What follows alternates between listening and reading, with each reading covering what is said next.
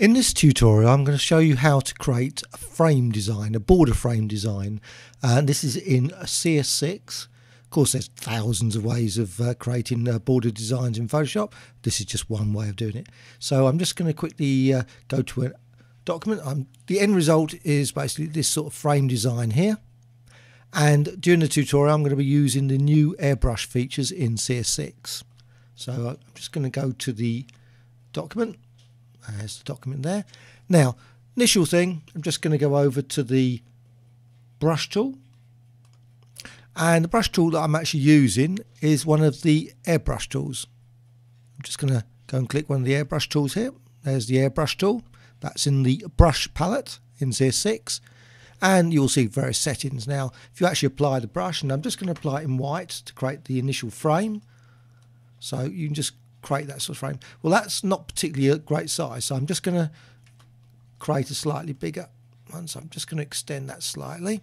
And I'm going to use the spacing set to the bare minimum. So it's just really a one continuous line. It's just going to be white all the way around just to create the uh, initial sort of setup. So, right, first thing, just go there. And I'm going to hold down the shift key so I can create a straight line very easily. I'm just going to go straight down like that with the current airbrush. Release the shift. Now click down the bottom again, drag along, and you just go all the way along, and that's again in a straight line by holding the shift key down. Now release again. Now you go upwards. Release again, and drag across to there. Now, of course, if you want to actually make it greater than 100, you could, of course, set it, say, 164, 195. So just, again, just quickly apply just down there. I'm just going to apply it a bit more roughly so you can actually see the, the, the dots along there, create the sort of frame edge. So again, release the shift, then just drag across it. Again, it's a straight line just across.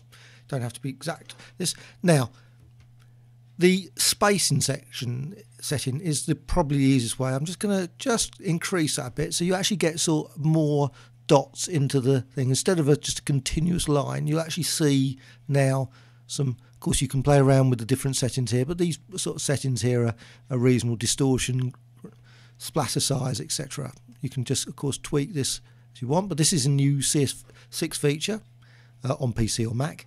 Now, I'm just going to go over to here apply across again, holding the shift down, just so you just see just subtle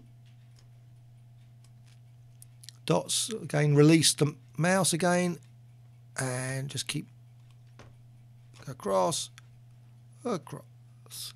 Again you could do it again if you wish to create another layer that's basically that's the initial thing. Now, if you want to create now a frame with a inner frame kind of thing with a sort of black frame or of course another color if you wish you don't have to have black so just going to use the black now i'm just going to reduce the size down for that. I don't want to create obviously one that's uh, so i'm going to reduce it down to about 160 about 62 say 60 whatever. And i'm going to start there. So it's just going to be this edge just down here. So again i'm just going to use the shift hold it to keep it a straight line. You don't have to do that, but it makes it easier just to create. Release again, go upwards, release again, and, obviously you can, if you want to create a sort of just round the edge, just to, and you can play around with this. Obviously for a while, you can just keep maybe create it in a frame again. So go across, So you can create more and more complicated frames if you wish. Right. So that's a quick and easy way of creating the frame design. Of course, like I say, you can say you can create uh, frame designs using uh, um, distortions, glass vex, whatever. But this is one way of using the brush tools to create quick and easy frames in Photoshop.